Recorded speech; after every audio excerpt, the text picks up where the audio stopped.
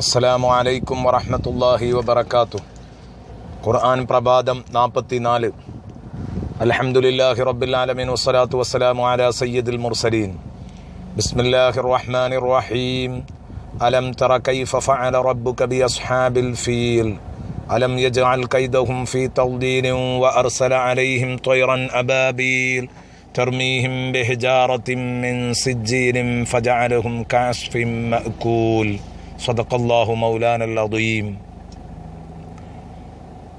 പ്രിയപ്പെട്ട കൂട്ടുകാരെ നാം തുടങ്ങിവെച്ച സൂറത്തുൽ ഫീലിലൂടെ ആനക്കലഹ സംഭവം വിവരിച്ചു തുടങ്ങി അതിന്റെ തുടർച്ചയാണ് നാം നടത്തുന്നത്. അബ്രഹത്തും കൂട്ടരും യമനിലെ ചർച്ചിലേക്ക് കുല്ലൈസ് എന്ന് പറയുന്ന ചർച്ചിലേക്ക് അറബികളുടെ മൊത്തം തീർത്ഥാടനം തിരിച്ചുവിടണമെന്നാഗ്രഹിച്ച് കഴബയെ അപ്രസക്തമാക്കണമെന്നാഗ്രഹിച്ചപ്പോൾ അറബികളെ ഒന്നടങ്കം അത് ചൊടിപ്പിക്കുകയായിരുന്നു. അറബികൾ പ്രതിരോധിക്കൽ നമ്മുടെ ബാധ്യതയാണെന്ന് മനസ്സിലാക്കി വഴികളിലൊക്കെ പ്രതിരോധത്തിന് വേണ്ടി ഇറങ്ങി നിന്നിരുന്നു എന്ന് ചരിത്രത്തിൽ കാണാം. ആദ്യമായി പ്രതിരോധിക്കാനെത്തിയത് യമനിൽ നിന്ന് തന്നെ അതായത് അബ്രഹത്തിന്റെ നാട്ടിൽ നിന്ന് തന്നെ ദൂനഫർ എന്ന് പറയുന്ന മനുഷ്യനാണ്. അദ്ദേഹത്തിന് വിളിച്ചാൽ കിട്ടുന്ന ഏതാനും ആളുകളെയുമായി പുറപ്പെട്ട് അബ്രഹത്തുമായി പോരാടി പക്ഷേ അബ്രഹത്ത് അയാളെ പരാജയപ്പെടുത്തുകയായിരുന്നു. കാരണം ഒരാളുടെയും ആവശ്യമില്ല. അള്ളാഹു സ്വന്തമായി സഹായിക്കാനും കഴബാലയത്തെ രക്ഷിക്കാനും തീരുമാനിച്ചിട്ടുണ്ട് തിരുനബിയുടെ ആഗമനത്തിന്റെ ശുഭസൂചന ശുഭ സൂചനയായി. ഇത് മാലോകരെ അറിയിക്കണമെന്ന് അള്ളാഹുവിനുണ്ട്. അതുകൊണ്ട് അവർ പരാജയപ്പെട്ടു പോയി. ദൂനഫറിനെ അറസ്റ്റ് ചെയ്ത് കൂടെ കൊണ്ടുപോയി. തുടർന്ന് ഹസാമിലെത്തിയ സമയത്ത് നുഫൈലുബിൻ ഹബീബുൽ ഹസ്അമി എന്ന് പറയുന്നയാൾ അദ്ദേഹം പ്രതിരോധിക്കാൻ ഇറങ്ങി.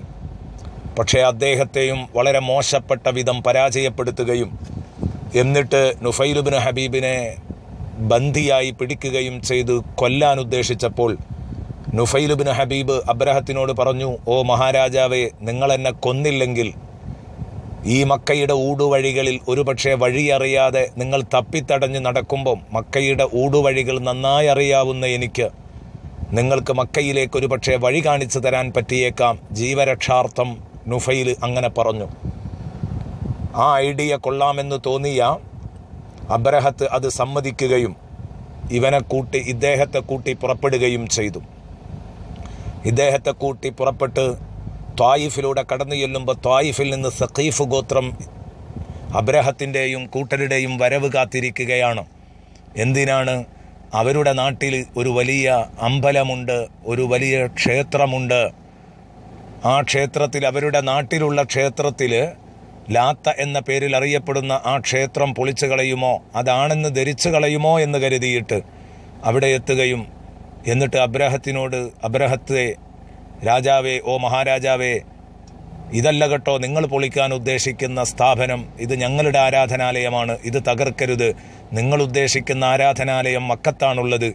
വേണമെങ്കിൽ നിങ്ങൾക്കങ്ങോട്ട് വഴി കാണിക്കാൻ ഞങ്ങൾ ഞങ്ങളുടെ കൂട്ടത്തിൽ നിന്ന് അബൂറകാലിനെ പറഞ്ഞയച്ചു തരാം എന്ന് പറഞ്ഞു. ഗൈഡായി അബൂറകാലിനെ വിട്ടു ഈ വിഡ്ഢികൾ. അല്ലെങ്കിലും ഇനി പിൽക്കാലത്ത് മുത്തുനബി സല്ലല്ലാഹു അലൈഹി വസല്ലമ തങ്ങളെ കല്ലെറിഞ്ഞ കുരുത്തക്കേടും കൂടെ വാങ്ങാനുള്ളവരാണല്ലോ സത്യത്തിൽ ത്വായിഫിലെ സക്കീഫ് ഗോത്രക്കാർ. ഏതാവട്ടെ ആനപ്പടയുമായി മുന്നോട്ട് നീങ്ങുകയാണ്. ആനപ്പടയുമായി മുന്നോട്ട് നീങ്ങുന്നു എന്ന് പറഞ്ഞാൽ അബ്രഹത്ത് കഴവ പൊളിക്കാൻ പുറപ്പെടുന്നത് അന്ന് ലോകത്ത് ലഭിക്കാവുന്ന ഏറ്റവും വലിയ തടിമാടനായ മഹ്മൂദ് എന്ന ആനയെ മുന്നിൽ നിർത്തി അതിന്റെ പുറത്താണ് അവൻ സവാരി ചെയ്യുന്നത്. പിറകിൽ പതിമൂന്ന് ആനകൾ വേറെയും. എന്നിട്ട് കഴബാലയത്തിലെത്തിയിട്ട് നാല് മൂലകളിലും ചങ്ങലയിട്ട് പിടിച്ച് അത് ആനകളുടെ കഴുത്തിലേക്ക് കെട്ടി ഒരുമിച്ച് ആനകളെ തൊളിച്ച് ഒന്നടങ്കം പെട്ടെന്ന് ഒരു നിമിഷം കഴബയുടെ മുഴുവൻ ചുമരുകളും നിലം പൊത്തിക്കണമെന്നതാണ് അവരുടെ സൂത്രം. പക്ഷേ അള്ളാഹു ഉണ്ടോ ഇതിനൊക്കെ സമ്മതിക്കുന്നു? ഏതാവട്ടെ ഇങ്ങനെ ഈ ആനപ്പടയെയുമായി മുന്നോട്ട് നീങ്ങി ഗൈഡായി അബൂറകാലുമുണ്ട് കൂടെ. മുഹമ്മസിലെത്തി ആനപ്പട. അപ്പോഴാണ് മക്കയുടെ അടുത്താണ് ഈ മുഹമ്മസ്. മുഹമ്മസിലെത്തിയപ്പോൾ മക്കയുടെ പുറത്ത് മുഹമ്മസിൽ ഇതാ ഇഷ്ടം പോലെ മക്കാരായ കുറൈശികളുടെ അറബികളുടെ നാൽക്കാലികൾ മേഞ്ഞു തിന്നുന്നു. ഇത് കണ്ടപ്പോൾ അബ്രഹത്ത് പറഞ്ഞു നിങ്ങൾ ആ നാൽക്കാലി കൂട്ടങ്ങളെയൊക്കെ തൊളിച്ചു കൊണ്ടുവരിക. ആദ്യം നമുക്ക് സമ്പത്ത് കൊള്ളയടിക്കാം. അവരെ തകർക്കാനുള്ള മാർഗം അതാണ്. അങ്ങനെ എല്ലാം തൊളിച്ചു കൊണ്ടുപോയപ്പോൾ അതിൽ അബ്ദുൽ മുത്തലിബിന്റെ ഇരുന്നൂറ് ഒട്ടകങ്ങളും ആ കൂട്ടത്തിലുണ്ടായിരുന്നു. അങ്ങനെ അവിടെ വെച്ച് ഈ മുഹമ്മസിൽ വെച്ച് അങ്ങോട്ട് കടക്കുന്നതിന്റെ മുമ്പ് ഹനാത്തുൽ ഹിംയരി എന്ന് പറയുന്നയാളെ അതാ ചർച്ചയ്ക്ക് വേണ്ടി പറഞ്ഞയക്കുകയാണ്. അതിന്റെ മുമ്പ് ഗൈഡായി കൂടെ പോയ അബൂറഹാൽ മുഹമ്മസിൽ വെച്ച് മരിക്കുകയാണ്. അള്ളാഹു താലാവിനെ കഴബാലയത്തിലേക്ക് അടുക്കാൻ സമ്മതിച്ചില്ല. കാരണം ഗൈഡായി കൂടെ പോയതല്ലേ ഈ വിഡ്ഡി അവിടെ തന്നെ വീണു മരിച്ചു. ഇന്നും അറബികൾ ഈ മുഹമ്മസിന്റെ കബറിനെ ഈ അബൂറഹാലിന്റെ കബറിനെ കല്ലെറിയുന്ന ഒരു സ്വഭാവമുണ്ട്. കഴബാലയം തകർക്കാൻ വന്ന ധിക്കാരി അതിന് വഴികാട്ടാൻ വന്ന ധിക്കാരി എന്ന നിലയ്ക്ക്. ഒരു കവി പറഞ്ഞത് കാണാം അദ്ദേഹത്തിന്റെ ശത്രു മരിച്ചപ്പോൾ എല്ലാ കൊല്ലവും ആ കബറിന് പോയി അദ്ദേഹം എറിഞ്ഞ് അരിശം തീർക്കും.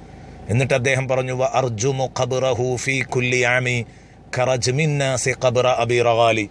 ജനങ്ങൾ അബൂറഹ അബൂറഹാലിന്റെ കബറിനെ എല്ലാ കൊല്ലവും കല്ലെറിയുന്നത് ഒരു ആചാരമാക്കിയതുപോലെ ഞാൻ എന്റെ ശത്രുവിന്റെ കബറിനെയും കല്ലെറിയാൻ തുടങ്ങി എന്നും. ഏതാവട്ടെ അത് കഴിഞ്ഞ് ഹനാത്തുൽ ഹിമ്യരിയെ വിടുന്നു. നീ കുറേശികളുടെ അടുത്ത് ചെല്ലണം. അവരുടെ ലീഡർ ആരാ നോക്കിയിട്ട് അദ്ദേഹത്തെ ഇങ്ങോട്ട് കൊണ്ടുവരണം. അബ്രഹത്ത് രാജാവും കൂട്ടരും യുദ്ധം ചെയ്യാനല്ല വന്നത്. കഴവ പൊളിക്കാൻ സമ്മതിക്കുകയാണെങ്കിൽ നിങ്ങളുമായി യുദ്ധം ചെയ്യാൻ അദ്ദേഹത്തിന് തീരുമാനമില്ല. കഴവ പൊളിച്ച് മര്യാദയ്ക്ക് പോകുമെന്ന് പറയണം. അങ്ങനെ വന്നു. ആരാണ് നിങ്ങളുടെ ലീഡർ എന്ന് ചോദിച്ചപ്പോൾ അബ്ദുൽ മുത്തലിബിലേക്കാണ് ചൂണ്ടിയത്. അബ്ദുൽ മുത്തലിബുമായി സംസാരിക്കുമ്പോൾ അബ്ദുൽ മുത്തലിബ് പറഞ്ഞു ശരി നിങ്ങൾ യുദ്ധം ഉദ്ദേശിക്കുന്നില്ലെങ്കിൽ ഞങ്ങൾക്ക് പ്രശ്നമില്ല. വല്ലാഹി മാനുരീദു ഹർബഹു. ഞങ്ങൾ അബ്രഹത്തിനോട് യുദ്ധം ചെയ്യാൻ ഉദ്ദേശിക്കുന്നില്ല. ഒമാലന ബിദാലി കമിൻ തോക്ക അതിനുള്ള കരുത്തും ഞങ്ങൾക്കില്ല. ഞങ്ങൾക്ക് കഴിയില്ല അവനോട് പോരാടാൻ. അതുകൊണ്ട് നിങ്ങളൊരു കാര്യം ചെയ്യണം. ഞങ്ങൾ അദ്ദേഹത്തോട് പോരാടാൻ ഉദ്ദേശിക്കുന്നില്ലെന്ന വിവരം പറയണം. എങ്കിൽ ഈ വിവരം പറയാൻ നിങ്ങൾ തന്നെ വരണം. എന്ന് പറഞ്ഞപ്പോൾ ഈ വിവരം പറയാൻ നിങ്ങൾ തന്നെ എന്റെ കൂടെ വരണമെന്ന് പറഞ്ഞപ്പോൾ വരാമെന്ന് പറഞ്ഞു അബ്ദുൽ മുത്തലിബിന്റെ കൂടെ ഒരു സംഘം ആളുകൾ ചേർന്ന് അതാ അബ്രഹത്തിന്റെ അടുത്തേക്ക് വരുന്നു. അബ്രഹത്ത് ആദ്യമായി ഒരുങ്ങി നിന്നു. ഞാൻ കട്ടിലിലിരിക്കും. എന്നിട്ട് തറയിൽ അബ്ദുൽ മുത്തലിബിനെ ഇരുത്തി സംസാരിപ്പിക്കും. അഹങ്കാരത്തോടെ കട്ടിലിൽ ഇങ്ങനെ ഇരിക്കുകയാണ്. അപ്പോഴാണ് അബ്ദുൽ മുത്തലിബ് നല്ല ആകാര വലിപ്പമുള്ള ഭംഗിയുള്ള ആരും കണ്ടാൽ അറിയാതെ അങ്ങ് എഴുന്നേൽക്കുകയും ആദരിക്കുകയും ചെയ്യുന്ന അബ്ദുൽ മുത്തലിബ് അങ്ങ് കടന്നു ചെന്നപ്പോൾ അവൻ അറിയാതെ അങ്ങ് എഴുന്നേറ്റു നിന്നു. അങ്ങനെയുണ്ട് ചിലർ. അവരെ കണ്ടാൽ ജനമറിയാതെ അങ്ങ് ബഹുമാനിച്ചു പോകും എഴുന്നേറ്റു പോകും. ഇത് പറയുമ്പോൾ എനിക്ക് ഓർമ്മ വരികയാണ്. ബഹുമാനപ്പെട്ട ഷെയ്ഖുന കാന്തപുരം ഉസ്താദിനെ എപ്പോഴും തെറി പറഞ്ഞിരുന്ന ഒരു മനുഷ്യൻ ഒരു സദസ്സിലുണ്ട്. ആ സദസ്സിലേക്ക് ഉസ്താദ് കടന്നു വരുന്നു എന്നറിയുമ്പോൾ അദ്ദേഹം പറഞ്ഞു ഞാൻ മാത്രം എഴുന്നേൽക്കില്ല എന്ന് പറഞ്ഞു. പക്ഷേ ഉസ്താദ് വന്നപ്പം സദസ്സ് മുഴുവനും എഴുന്നേറ്റു അദ്ദേഹവും എഴുന്നേറ്റു. ആരോ ചോദിച്ചു എന്തേ നിങ്ങളല്ലേ എഴുന്നേൽക്കില്ല എന്ന് പറഞ്ഞത്? അപ്പോൾ ആ മനുഷ്യൻ പറഞ്ഞ മറുപടി അത് എഴുന്നേറ്റതല്ല എഴുന്നേറ്റ് പോയതാണെന്നതാണ്. എന്നതുപോലെ അബ്ദുൽ മുത്തലിബിനെ കണ്ടപ്പോൾ അങ്ങ് എഴുന്നേറ്റ് പോയി അബ്രഹത്ത്. എന്നിട്ട് അബ്രഹത്തും അബ്ദുൽ മുത്തലിബും തമ്മിൽ ചർച്ച നടക്കുന്നു. എന്താണ് ആ ചർച്ച? അതിന്റെ ബാക്കി ഭാഗം സൂറയോടുകൂടെ നാളെ നമുക്ക് പറഞ്ഞ് സമാപിക്കാം. അസ്സലാമു അലൈക്കും വറഹമത്തല്ലാഹി വബർക്കാത്തു